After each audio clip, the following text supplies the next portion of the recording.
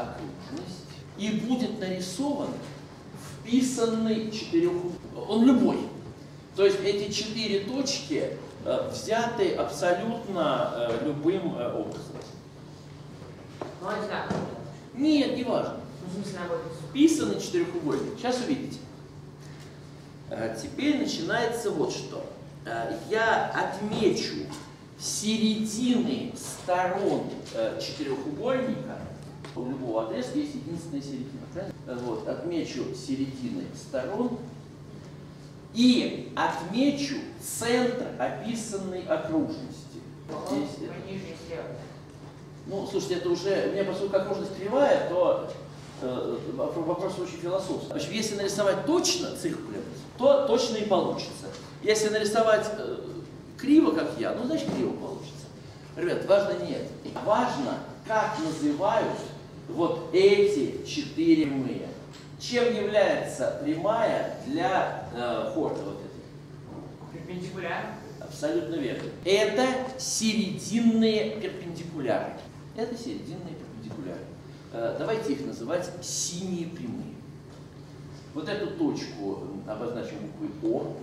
Это центр описанной окружности. Центр описанной окружности четырехугольника.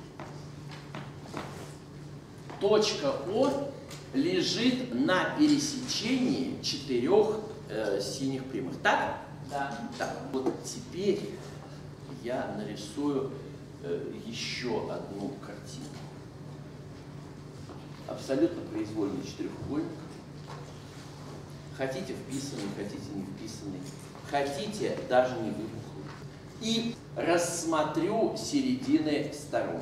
Скажите, пожалуйста, если их соединить вот так вот отрезками, какая получается фигура? Параллелограмм. Правильно. А почему? Не слышу. Правильно. Э, Совершенно верно. Вот это утверждение называется теорема Вариона. Получается, мы делим э, четырехугольник на два треугольника, Да. и получается, что вот эти, этот отрезок, это средняя линия вот этого треугольника, а этот отрезок средняя линия этого треугольника. Соответственно, эта средняя линия параллельна этой линии, а эта линия параллельна этой. Соответственно, прямые параллели. Все все поняли? Да. Спасибо вам большое. Но почему они равны? Равны половине диагонали. Параллельны той самой диагонали. Вариньон э, – это французский математик и механик. Теорема, согласитесь, не хитрая, да, теорема абсолютно понятная, замечательная. Стороны вот этого параллелограмма параллельны диагоналям четырехугольника, а по длине равны половине, да, э, половине диагонали соответствующей. Так вот, господа, я хочу сейчас нарисовать на этой картинке параллелограмм Вариньона. Это поскольку он есть у любого четырехугольника, значит, э, он есть и на этой картинке тоже. Отлично. Я на соседней картинке буду рисовать другие прямые. Давайте их буду называть зелеными. Предполагается, что это два одинаковых четырехугольника, два раза нарисованы. Ну, Нет, это же верно для любого. Э, Для ясности я их нарисовал более-менее одинаковыми. Но вообще-то, как бы, ну это можно делать для любого вписанного четырехугольника. Так, так вот, э, зеленые прямые будут устроены так. Вот здесь, смотрите, есть точки, э, те самые середины. На левой картинке я проводил серединный перпендикуляр. А сейчас сделаю совсем по-другому. Опущу перпендикуляр из середины стороны на противоположную сторону. Э, Что это будет означать? Это будет означать примерно вот так. Так, идея понятна? Да.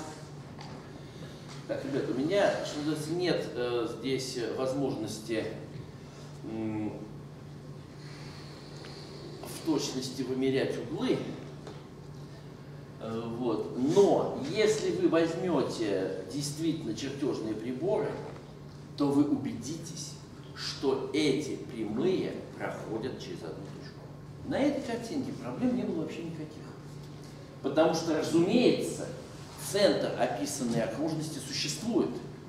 И, соответственно, синий. Так, все понимают, да? Серединный перпендикуляр состоит как раз из точек, равно удаленных от э, концов отрезка. И поэтому центр описанной окружности обязан лежать на всех э, четырех синих прямых. А почему зеленые пересекаются в одной точке? Оказывается, для того, чтобы это доказать, э, мы должны понять, какая существует связь между прямыми зелеными и прямыми синими. Мы должны на обеих картинках нарисовать параллелограмму рентгена, чтобы понять, как связаны между собой прямая зеленая и синяя. Я сейчас нарисую диагональ э, параллелограммы рентгена. Например, вот две диагонали, все идеально. И здесь то же самое. Да? Здесь будет э, точка P. И теперь я задам вопрос, как связаны между собой прямая ОК и вот это вот зеленая прямая. Давайте я зеленую прямую обозначу L, а вот эту синюю прямую обозначу M. Э, между прочим, они параллельны. Это все понимают? Почему они параллельны? Потому что это перпендикуляры к одной и той же прямой CD. Согласны? Вот это вот была э, перпендикулярна к CD, и эта прямая тоже перпендикулярна к CD. Поэтому, если я сейчас, господа, нарисую э, отрезок CD, выносной чертеж, нарисую отрезок CD, возьму у него середину, это была точка К, нарисую синюю прямую, эта прямая у нас обозначена буквой М. Нарисую отрезок КМ.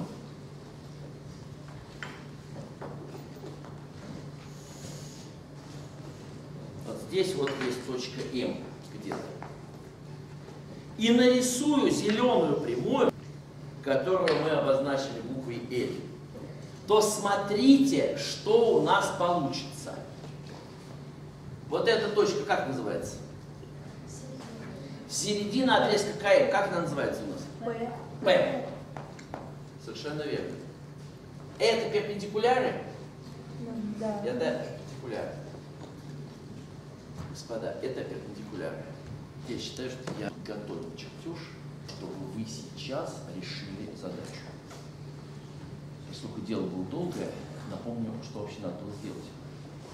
Вы должны сейчас объяснить, почему зеленые прямые пересекаются в одной точке. Напоминаю, что такое зеленая прямая. Э, Это через середину стороны вписанного четырехугольника проведенная прямая перпендикулярна к противоположной стороне. Условия все вспомнили? Вот. Ну все, я считаю, что я подготовил чертеж, даже вот вписанный четырехугольник два раза нарисовал. Просто проблема в том, что когда рисуешь э, зеленые и синие прямые на одном чертеже, слишком много линий, это сливается. В результате я поработал в два раза больше с вписанным четырехугольником, но мне кажется, что сейчас э, видно, где зеленые, где синие, правда? Видно. Отлично. А решение? Если сделать центральную симметрию относительно точки P, то синие перейдут в зеленые прямые. Есть такое понятие поворот на 180 градусов. Или то же самое, центральная симметрия. Посмотрите, пожалуйста. Если повернете вот этот отрезок, то точка К перейдет в точку М. Согласны? Помните, что вот эти углы раздвинуты. Представьте, вот такой угол поворачивается на 180 градусов. Тогда вот это красное переходит в это красное, а этот луч синий переходит вот в этот зеленый луч. Значит, при повороте вокруг точки P на 180 градусов синяя прямая переходит куда? А теперь внимание. Я с чего начал рассказ? Вспомните, пожалуйста. С того, что четырехугольник вписан в окружность, правильно? Там была точка О. Каким свойством она обладала? Центр окружности. Она лежала на всех синих прямых, правильно? Значит, когда я делаю вот этот выносной чертеж, когда я делаю этот выносной чертеж, где-то здесь лежит точка. Я не знаю где. Ну где-то обязательно лежит. И если здесь где-то есть точка О, то симметричная ей точка, давайте ее обозначим Q, лежит на зеленой прямой. Понятно? При повороте на 180 градусов О переходит в Q. Значит, если точка О лежала на всех синих прямых, то точка Q будет лежать где? На всех зеленых. Пойдемте на исходный чертеж. У нас здесь есть точка О, здесь есть точка П. Значит, точка Q где? Примерно вот здесь. Она симметрична точке О. Посмотрите. Ну, вообще хоть я и рисовал без инструментов, но, в принципе, вот если так вот провести, то примерно так и получится. Где-то здесь точка О, правильно? Где-то здесь точка Q. О точка пересечения синих прямых, Q точка пересечения зеленых прямых. Задачу мы решили? Или нет? Решили. Отлично.